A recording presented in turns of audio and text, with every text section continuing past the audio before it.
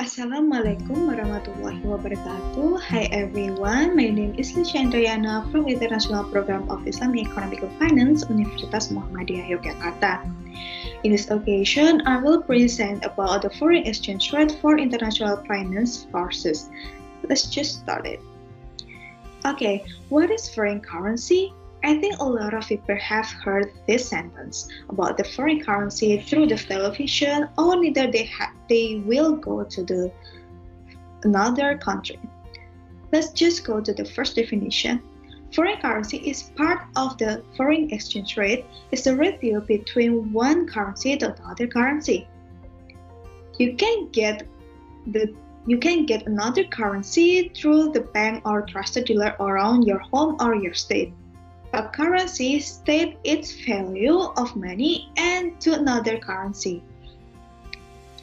How do we know about the value in foreign currency? Okay, let's see to this example. The example state that the euro per US dollar in 1.3 thousand. It means that 1 euro equal to 1.3 thousand US dollar.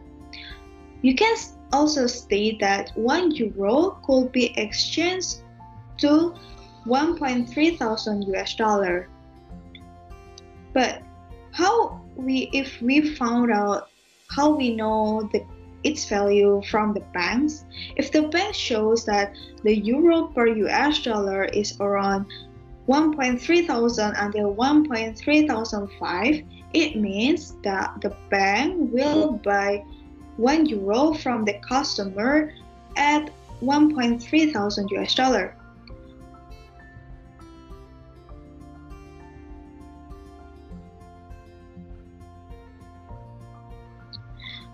Another statement that the bank will sell 1 euro to the customer 1.3 thousand US dollar. And then the customer will buy 1 euro from the bank at 1.3 thousand 5 US dollar. So it means that if you want to buy the foreign currency from the bank, they will they will cost the for 1 euro is 1.3 thousand US dollar. Another fact about the currency, the currency is determined in spot market called as spot currency or spot rate.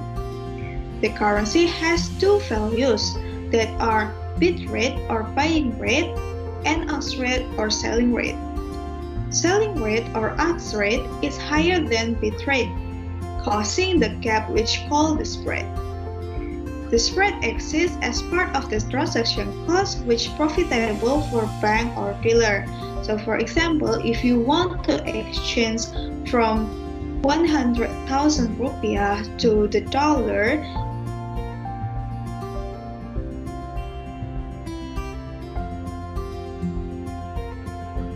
it will be more expensive than you convert the rupiah to US dollar through your phone. That's why that that's why we called it the spread. This gap is called the spread, which is is part of the transaction cost for the bank and the dealer. The next is types of quotation. The quotation in foreign exchange rate has four types. The first is direct quotation. The second is indirect quotation. The third is European quotation. And the last is American quotation. Okay, we go to the first quotation that is called direct quotation. The direct quotation represents a unit of foreign currency expressed to local currency. Okay, we go to the first example, the local, the cases in Indonesia, and the cases in Japan. We can see from the example that 12,000 rupiah per one dollar or it means that one US dollar equal to 12,000 rupiah as well as if the if we in quotation local in Japan that 110 yen is equal to 1 US dollar which is to both of them quote as the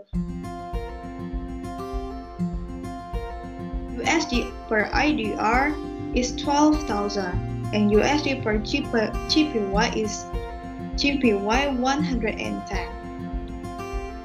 The next is indirect quotation. Indirect quotation represents of one unit of local currency to foreign currency.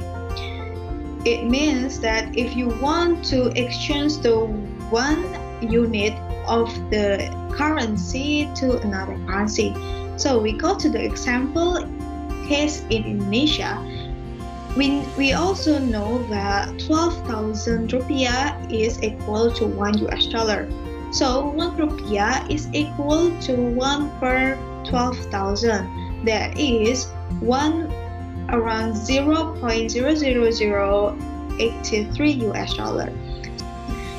So the indirect quotation is 0.000083 dollar per 1 rupiah. So we go to the next cases in Japan as well as in the cases, cases in Indonesia that 1 110 yen per 1 US dollar. It means that 100 110 yen is equal to 1 US dollar. But what about in indirect quotation, in 1 Japanese yen is equal to 1 per 110 and that is 0.009 US dollar. So the indirect quotation of Japanese yen is 0.009 dollar per 1 yen.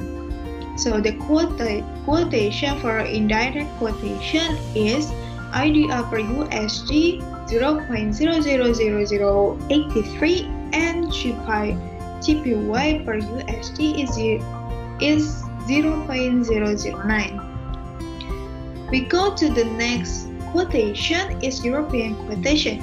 European quotation represents one unit of US dollar expressed to another foreign currency. Okay, we go to the, the first example is Japanese yen. 110 yen per 1 US dollar or 1 US dollar is equal to 110 yen. The next example is in Canadian dollar as well as well as in Japanese yen that 1.1 Canadian dollar per, U, per 1 US dollar, it means that 1 US dollar equal to 1.1 Canadian dollar. So it quoted as USD per JPY 110 and USD per CAD is 1.1. So in European quotation is when the US dollar currency is expressing its currency to another foreign currency. represents one unit of foreign currency to US dollar currency. We can see the similarity between the European quotation and American quotation. If European quotation, if we if a quotation from the one US dollar to another currency, but in American quotation is one of foreign currency expressing to one to US dollar. The first example is euro. US dollar 1.139 per 1 euro. It states that 1 euro is equal to 1.139 US dollar. And the next example is pound sterling. As well as the in euro, from euro to US dollar, US dollar 1.59 per 1 pound sterling, you can state that 1 pound sterling is equal to 1.59 US dollar. So both of the example, you can quote it as euro per US dollar 1.139 and Britain oh, pound sterling or GBP per US dollar 1.59. I think that's all of my presentation about foreign exchange rate in international finance. Thank you for your attention. Wassalamualaikum warahmatullahi wabarakatuh.